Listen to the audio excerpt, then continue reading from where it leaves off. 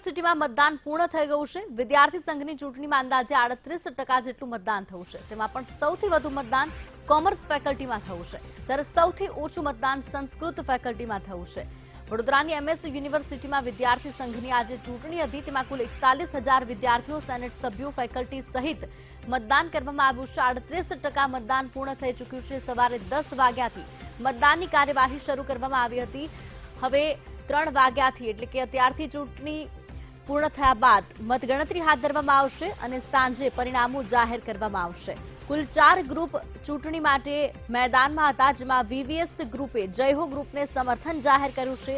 ચૌદ ફેકલ્ટી અને દસ કોલેજ મળી કુલ ચાલીસ હજારથી વધુ વિદ્યાર્થીઓ અને ફેકલ્ટીઓએ સાથે મળી આ ચૂંટણી યોજી છે. મતદાન શાંતિપૂર્ણ રીતે પૂર્ણ થઈ ચૂક્યું છે.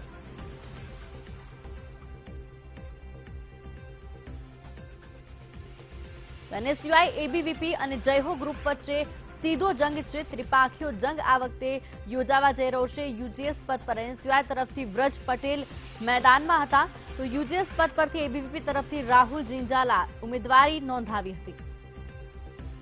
સંવાદદાતા માનુ ચાવડા ફોન લાઈન પર જોડાયા છે.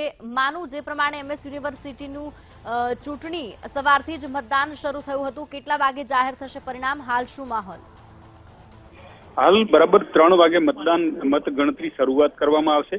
દરેક ફેકલ્ટી વાઇઝ જ્યાં જ્યાં મતદાન હતું ત્યાં જ મતગણતરી કરવામાં આવશે એટલે અલગ અલગ મતગણતરી કરવામાં આવશે. પરંતુ સાંજે છ વાગ્યા સુધીમાં તમામ બેઠકો છે એના પરિણામો આવી જાય એવી શક્યતા છે. અત્યારે હાલ ચાલીસ ટકા જેટલું મતદાન થયું છે અને ત્રણ વાગ્યાથી મતગણતરી છે શરૂ કરવામાં આવશે. ખાસ કરીને એકસો ને તેર જેટલા ઉમેદવારો ચૂંટણી મેદાનમાં છે. વિવિધ ફેકલ્ટીમાં આ મતગણતરી હાથ ધરાવવાની છે. એટલે થોડીક મત ગણતરીમાં વાર લાગે એવી શક્યતા છે. પરંતુ છ થી સાત વાગ્યા સુધીમાં તમામ બેઠકોના પરિણામ આવી જાય તેવી શક્યતા છે. જી. બિલકુલ. આભાર સમગ્ર માહિતી બદલ.